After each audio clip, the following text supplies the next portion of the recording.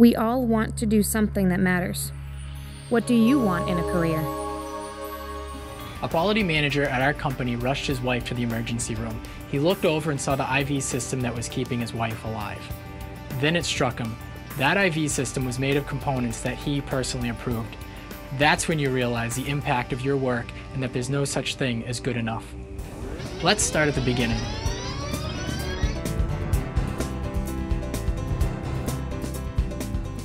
It takes a team to bring this product to market. A program manager, a mold designer, a machinist, a CT engineer, and a plastics engineer. Here you'll meet these young, experienced professionals who are critical to making this product, and you'll learn about possible career opportunities for your own future. Let's start with the program manager. That's my role. I'm Ryan. I am the connection between our customer and the company. It's my job to ensure that products are made correctly and on time. I oversee the design, build, and quality of molds that make products like this check valve. It feels good when I walk around stores and see things that were made from molds that I helped build. Then I realize how many people we're reaching. Now, let's go to mold design. I'm Nishit. I'm a mold design engineer and a simulation analyst. I've always noticed how plastics are being used by every person on the planet every day and then I found out that mold making and injection molding is at the very heart of the plastics industry. I was excited by the opportunity I was going to get to work on a broad range of products. Not only do you need to be highly skilled, in fact, you need a wide variety of skills like math, science, communication, computer skills in order to be successful as a mold design engineer. I have two key roles. I am a mold design engineer and a simulation analyst. As a simulation analyst, I use computer software to simulate how plastic is going to flow through the mold.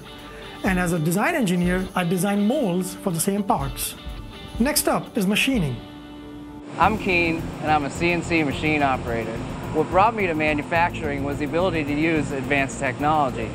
What keeps me here is the fact that it's ever-changing. My job is a crucial step in making properly working medical devices. By collecting the correct cutting tools and putting it into the right machine, I ensure that a good mold is made. I ended up in manufacturing uh, after attending college for a couple years, or directly after high school, and it just wasn't for me. Uh, there was a job opening at Nypro Mold. Um, I applied, I got in with onboard training, and here I am now.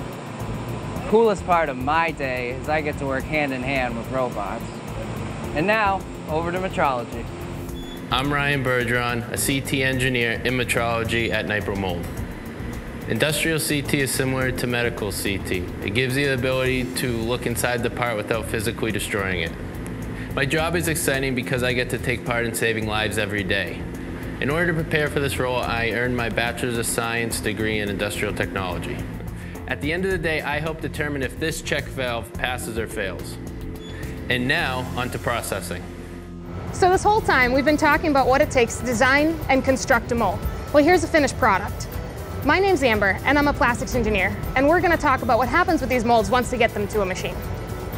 So what we do when we run the machines, we take these plastic pellets and we melt them down in the machine and we inject them into the molds and we end up with a finished product. I have a bachelor's and a master's degree in plastics engineering. I started an internship here at Nypro when I was a freshman and I never left. What I love about my job is the variety of things I get to do every day. Some days I'm at my desk doing paperwork, other days I'm down here on the floor running machines all day long. And what's really great about it and really fun is it's kind of like a big puzzle. What's the best way and the fastest way to make really good parts every single time?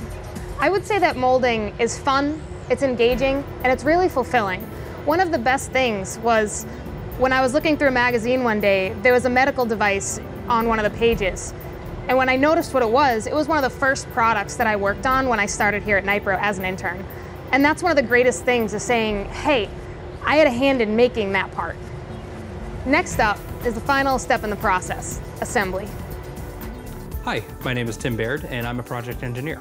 So when I was in high school, I participated in the FIRST program, which partners up high schoolers with different companies that do engineering. And I found through there that I love doing engineering and I went on to go to college for mechanical engineering, and now I build automation and robotics here at Nypro. The best part of my day is the diversity. I'm always working on something different, and it's never the same thing twice. During the production of the check valve, I primarily work on robotic tooling like this, which takes the molded component out of the mold, places it onto the conveyor belt for cooling, where it then goes on later for quality inspection. It's great to know that I'm contributing to patients' health. For that one employee, this product meant the difference between life and death. We make millions of parts every year, contributing to healthcare for patients around the world. Our work saves lives. Mold making matters.